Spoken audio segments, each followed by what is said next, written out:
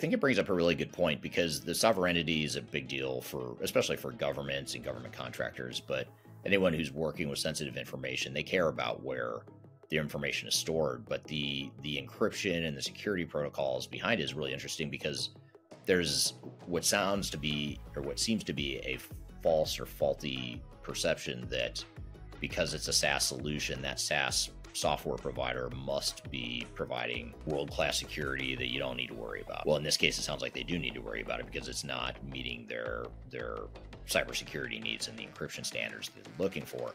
And so you've got to figure out not only where the workflows reside, but just what systems you're going to use in the cloud, what systems and data do you feel comfortable hosting in the cloud, especially if it's outside your country or if it's in another country versus information that maybe isn't as sensitive that you can be a little more flexible with the type of provider that you are considering. So I think it's just a good reminder. If anything, this should be a good takeaway or a good reminder to organizations that even the biggest hyperscalers in the world or the biggest cloud software providers in the world aren't necessarily going to provide the cybersecurity protocols you need.